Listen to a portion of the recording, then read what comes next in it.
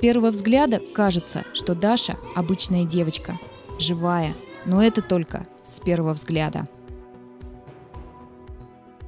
На самом деле у Дашеньки Рябовой тяжелое заболевание. При рождении девочки врачи не заметили никаких отклонений. Они проявились только через несколько месяцев, когда ребенок начал закатывать глаза, проявлять беспокойство и отставать в развитии. Ну, на тот момент, я говорю, где-то вот было, когда Даша там от полтора там до двух, там до двух с половиной, это на самом деле, то есть вообще был как бы шок для нашей семьи, такой как бы момент испытания очень тяжелый э, в психологическом плане, потому что, ну, согласись, тоже каждый день приходишь с работы домой и видишь плачущую жену, да, там. Родители делали все возможное, чтобы вылечить ребенка, ездили по врачам, занимали деньги, чтобы попасть на прием к дорогостоящим специалистам. Ходить Дашенька научилась только в два с половиной года, а вот говорить не может до сих пор, так же, как и обслуживать себя самостоятельно. Поэтому за ребенком нужен круглосуточный присмотр. Вот так девочку ведут за стол. Да, пойдем угощать, да? С трудом Даша пошла в коррекционный детский садик, а на будущий год ей пора в школу. Но по уровню развития девочка остается трехлетним ребенком, который боится всего неизвестного.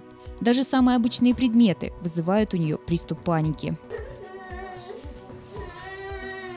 Увидев зонтик, она словно испуганный маленький котенок жмется к маме и ищет защиты. А вид оператора с видеокамеры в детском саду довел Дашеньку до истерики.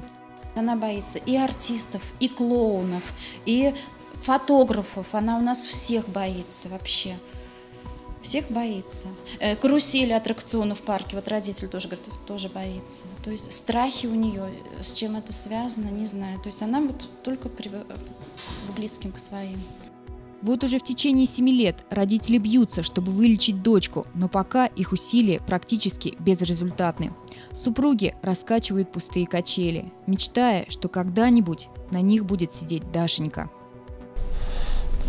Очень хочется услышать первое слово «мама» и «папа». Хочет, чтобы она также у нас теперь гуляла с детишками, как и все, с подружки, чтобы у нее были в гости, приходили, например, как к нам. Потому что вот сейчас уже все дети в таком возрасте, у всех уже свои как бы друзья есть.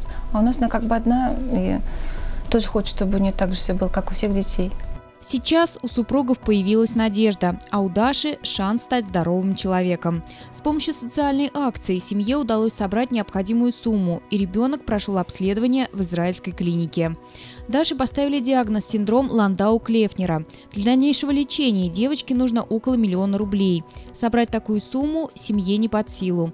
Родители обращаются с просьбой о помощи ко всем неравнодушным людям.